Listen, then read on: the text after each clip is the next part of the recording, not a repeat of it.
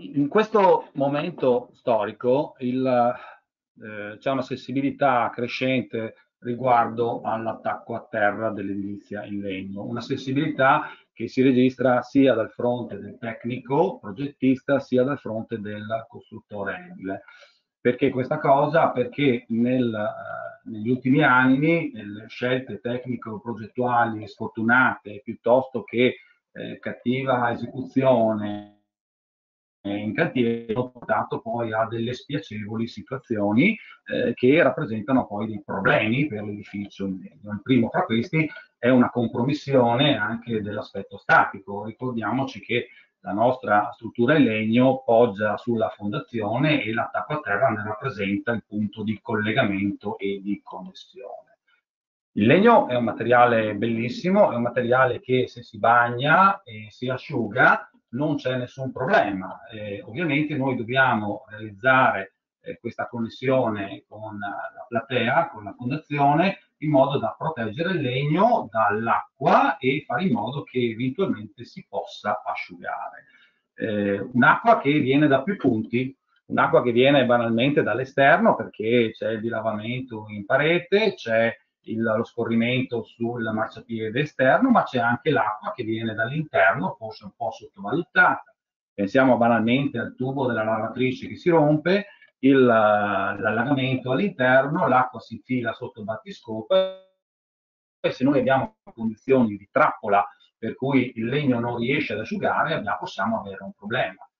Eh, la connessione alla platea, chiaramente poi la platea è a contatto con il terreno e quindi c'è ovviamente il problema dell'umidità di risalita, quindi dobbiamo proteggerci dall'umidità di risalita, ma abbiamo anche una forma di umidità eh, un po' più subdola che spesso è difficile da comprendere ed è quella che eh, è disciolta naturalmente nell'aria sotto il nome di umidità eh, per la quale noi poi vivendo negli edifici in legno contribuiamo all'emissione in ambiente e attraverso quel fenomeno per cui scaldando l'edificio d'inverno l'aria calda spinge sulle strutture e tende a scappare verso l'esterno, noto sotto il concetto di tenuta all'aria, eh, va a trovare anche nel nodo di connessione a terra un punto, una via di fuga per cui può rappresentare poi una problematica di eh, condensazione interstiziale.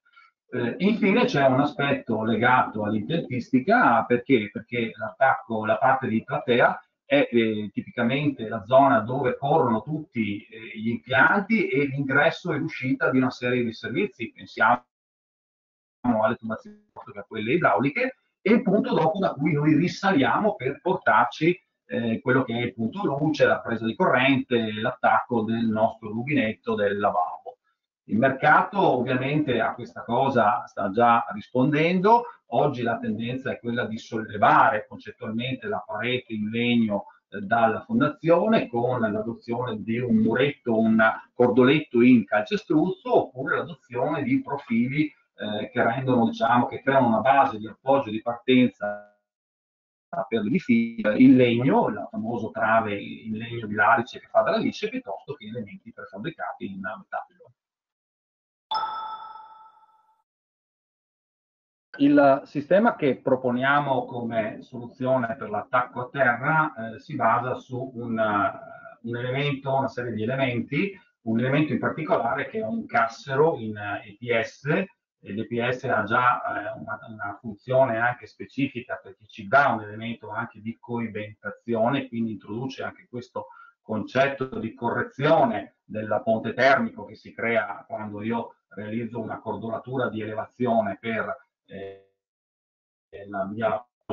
parete in legno, un elemento che poi è dotato di una serie di elementi che consentono la registrazione per eh, livellare la quota eh, dal punto di vista altimetrico e quindi proporci una uh, soluzione di appoggio perfettamente planare andando a compensare, a correggere le irregolarità che tipicamente si trovano partendo dalla platea. Perché ahimè eh, l'edilizia in legno lavora con una precisione del millimetro, l'edilizia eh, tradizionale spesso ha delle tolleranze leggermente differenti. Eh, l'obiettivo è quello di portare la nostra parete al di sopra o almeno una quota paritetica a quello che è lo scorrimento delle acque anche sul piano interno, quindi una quota pari o superiore al pavimento interno finito. Tipicamente un range che possiamo identificare tra i 25 e i 30 cm.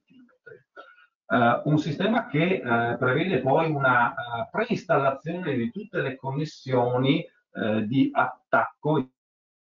di agganci di legno, le famose piastre che rispondono poi agli sforzi di taglio e di trazione, che vengono direttamente preinseriti nel cassero, vengono confinati con ferri tradizionali di armatura, andando poi a eh, rimandare gli sforzi direttamente sulla platea e, e vengono annegati direttamente all'interno del nostro cordolo di calcestruzzo. Un sistema che è studiato e pensato secondo, eh, questo magari è un aspetto più da ingegneri, da strutturisti, per rispettare quella che è la logica della gerarchia delle resistenze, lavora con il concetto della cosiddetta rottura duttile o dissipazione dell'energia e porterà poi a una serie di vantaggi sia al progettista strutturista sia al eh, costruttore edile un sistema che eh, dà poi a chi lo adotta una uh, soluzione, una risposta anche dal punto di vista termo-igrometrico. Eh, è stato fatto uno studio specifico e un'analisi a elementi finiti per quanto riguarda quello che può essere il eh, punto, la temperatura limite per eh, non avere problemi di condensazione nel punto più critico,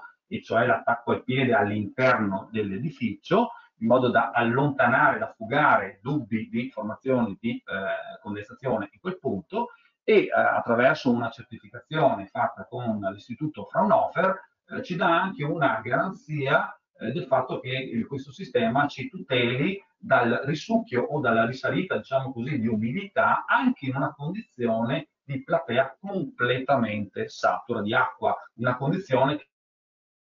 che eh, assimilata a un allegamento, a un allagamento anche temporaneo. Um, un sistema che poi alla fine, grazie a delle traverse che sono ogni 40 cm, consente una distribuzione ottimale degli impianti, eh, rendendo più agevole poi quello che è eh, tutto l'alleggerito, il materiale alleggerito che va a compensare e evitando tutta una serie di sovrapposizioni che sono tipiche del mondo degli impianti.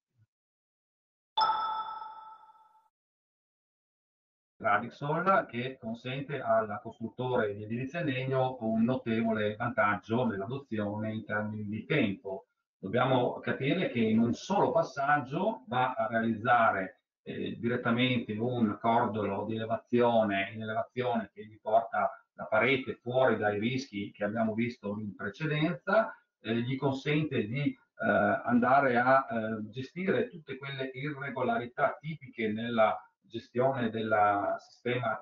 di edilizia tradizionale dal punto di vista altimetrico, eh, riesce a lavorare con la stessa precisione con cui è abituato, quindi con la precisione del millimetro, andando a fare un unico tracciamento direttamente sulla platea, eh, perché in questo modo diciamo, si evita una fase che spesso alcuni costruttori lamentano, e cioè che aspettano che tutta la platea e tutto il muretto in elevazione sia fatto e realizzato per andare poi a fare un nuovo rilievo in cantiere e per poi andare in produzione con quanto riguarda, per quanto riguarda la, le pareti in legno. In questo modo il costruttore salta questo passaggio, può procedere direttamente alla realizzazione della parete perché tanto poi il suo schema, il suo tracciamento sarà lo stesso con cui posiziona il nostro sistema Radixol. Eh, è un sistema che consente di dare una garanzia dal punto di vista termoigrometrico, abbiamo visto gli studi eh, fatti da TVZ e dall'Istituto Fraunhofer che eh, tutelano quel punto dal punto di vista per appunto igrometrico, è eh, un sistema che grazie al fatto che è stato studiato per quanto riguarda le gerarchie delle resistenze, consente anche una ottimizzazione con le connessioni eh, legno calcestruzzo eh, anche portando spesso e volentieri a una significativa riduzione del numero di queste connessioni che può arrivare anche all'ordine del 50% di riduzione. E questo si traduce poi ovviamente in un enorme risparmio anche di tempo e anche di costo. Ringrazio Arca per la possibilità e per dare, darci l'opportunità di far conoscere questo sistema al mondo sia dei progettisti sia eh, dei costruttori in legno. A proposito ricordo che tutto il nostro staff tecnico, a partire dal sottoscritto, è a disposizione ovviamente per qualsiasi informazione e tutta la rete dei nostri consulenti tecnici eh, diffusi in tutto il territorio nazionale sono ovviamente anche loro a disposizione per qualsiasi chiarimento.